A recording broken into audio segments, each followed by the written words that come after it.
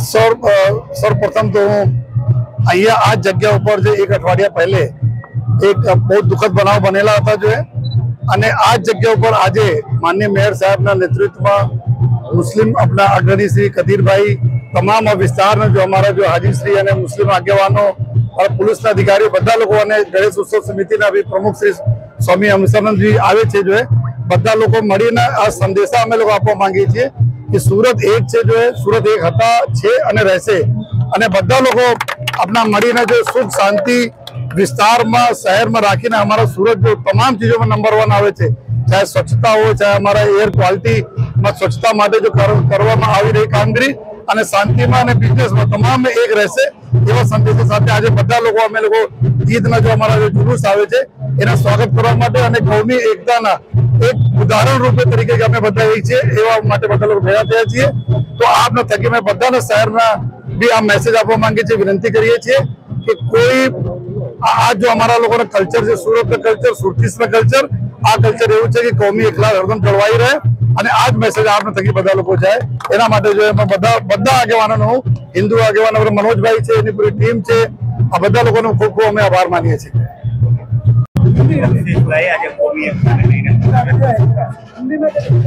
આજે કોમી એકતાને લઈને હમણાં જ કમિશનરે કીધું કે એક વ્યક્તિને અહીંયા બનાવ બન્યો હતો. પણ સુરતનું કલ્ચર જ એવું નથી કે ધમાલ થાય. ફરી એક સમયે હિન્દુ ભાઈઓ, મુસ્લિમ ભાઈઓ એક થઈને આજે જુલુસને સ્વાગત કરો અમે ભેગા થયા છે. ત્યારે અત્યારે સુરત ભારત વર્ષનું તો નંબર વન શહેર છે. અત્યારે વિશ્વમાં આપણે પ્રસ્થાપિત થવા જઈ રહ્યા છે. ત્યારે આવનાર સમયમાં ફરી એકવાર આપણે પૈગંબર સાહેબ નો જે જન્મદિવસ છે, એને તો શાંતિનો સંદેશ આપણે આપ્યો જ છે. એના સંદેશાને આગળ લઈને આવનાર સમયમાં આપણે બધા સંકલ્પ કરીએ કે આપણા સુરત પર કોઈ પણ અનિચ્છ બનાવ નહીં બને, તે આપણા સૌની જવાબદારી છે.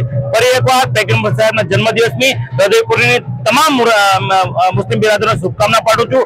આજે આ સમયે પોલીસ કમિશનર શ્રી કદીરભાઈ મોહસિનભાઈ, તમામ આગેવાનો મનોજભાઈ, અમે ફરી એકવાર આ જગ્યા પર જ્યાં બનાવ ત્યાં ફરી વાર એક એક એક એક થઈ અને ભારત દેશને સંદેશો આપી રહ્યા છે.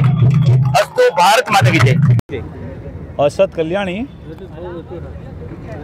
પ્રમુખ સુરત શહેર તાજિયા કમિટી, માજી કોર્પોરેટર, આપ અહીંયા જોઈ રહ્યા છો આજે ઈદે મિલાદુન નબીનો બહુ મોટો દિવસ.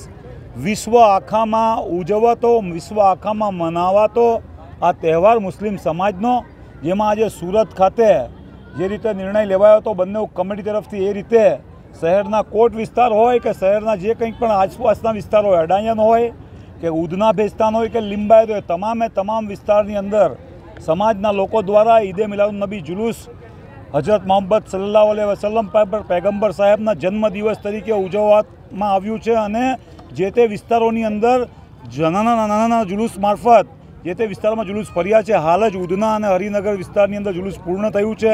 તેમજ લિંબાયતની અંદર પણ હવે સ્ટાર્ટ થઈને રસ્તામાં છે. અત્યારે બે વાગ્યા છે, અઢી વાગ્યા છે. અઢી વાગ્યાના સમયમાં શહેરના અડધા વિસ્તારની અંદર જુલુસો પોતપોતાના વિસ્તારમાં પૂર્ણ થઈ ગયા છે.